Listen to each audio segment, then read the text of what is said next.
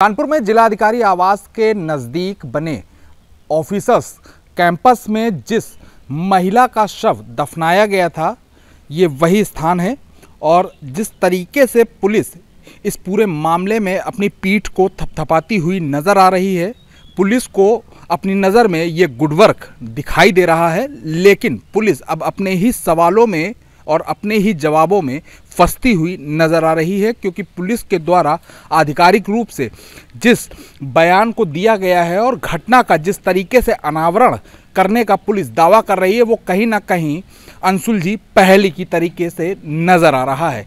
ये वही गेट है जिसके अंदर से महिला का शव बरामद हुआ था। ज़मीन में महिला का शव करीब आठ से दस फीट की गहराई में गड़ा हुआ था।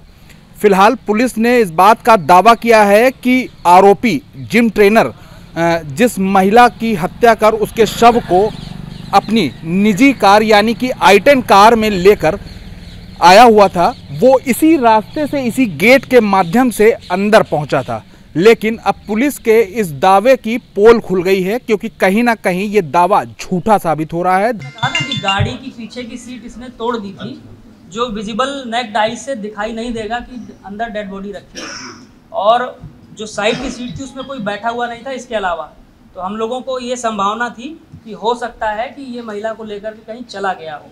इसकी संभावना कम थी। नेचुरली हम इसकी संभावना कोई भी होगा पुलिस अफसर तो ये नहीं चाहेगा कि ये संभावना करें कि किसी की मृत्यु हो गई होगी। हम यही चाहेंगे कि अगर उसको जो है वो प्रोटेक्ट कर सके बचा सके या खोज सके तो ज़्यादा बेहतर चीज़ होगी। नहीं कैंप ऑफ़िस का हम उसको पार्ट नहीं कह सकते हैं। वो उस लोकेलिटी का पार्ट है जो ऑफिसर्स कॉलोनी उस लोकेलिटी का पार्ट है। और जो गाड़ी जा सकती है वो लोकेलिटी से जा सकती है डीएम कंपाउंड से नहीं जा सकती। गाड़ी जो है वो यूपी अठहत्तर C E four one six two i ten गाड़ी है। और ये यूपी अठहत्तर C E four one six two i ten गाड़ी है छोटी गाड़ी है व्हाइट कलर की गाड़ी है। ये वही गाड़ी है जो बरामद यही गाड़ी है जो बरामद हुई थी और इससे ट्रांसपोर्ट भी हुआ है।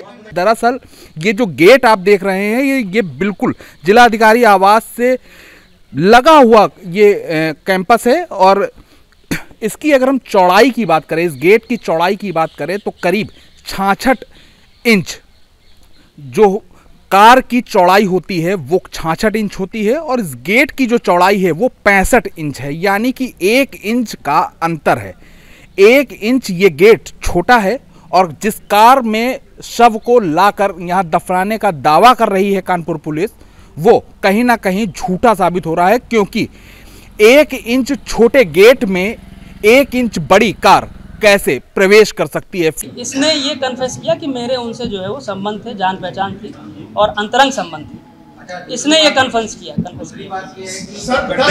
पहले से कैसे खुदा हुआ था? ये चूँकि जो है वो पहले से वहाँ आना जाना था इसका तो इसकी भी संभावना हो सकती है कि इसने पहले से गड्ढा खोद के रखा हो और बाद में जो है और गड्ढा खोदा हो।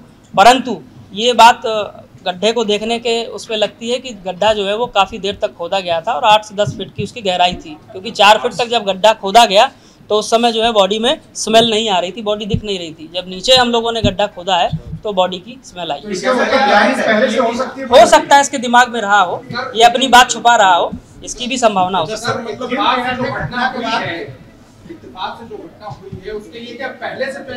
अभी देखिए ये हम जो है वो इन्वेस्टिगेशन में लेके आएँगे। और इसको अभी इतफाक कहना भी जो है इतफाक नहीं है। अभी इसको जो है प्लानिंग में लेके आएँगे। और देखिए भी फुटेज हमने चेक किए थे। उसके भी फुटेज हमने चेक किए थे। इसका गाड़ी जाते हुए परंतु चूँकि फ़िलहाल पुलिस अब अपनी ही गुत्थी में उलझती हुई दिखाई दे रही है। वो भले ही तमाम दावे करे लेकिन कहीं ना कहीं हकीकत कुछ और है। इस मामले में अभी कई राज खुलने बाकी हैं क्योंकि कानपुर पुलिस लगातार दावा कर रही है। तो वहीं इस पूरे मामले का खुलासा करने वाली टीम को एक लाख रुपए का इनाम भी देने का ऐलान कर चुकी है। लेकिन अपने मियाँ, मुँह मिट्ठू होना, ये कहीं ना कहीं पुलिस को भारी पड़ सकता है, क्योंकि पुलिस अभी अपने ही दिए गए बयानों में उलझती हुई दिखाई दे रही है।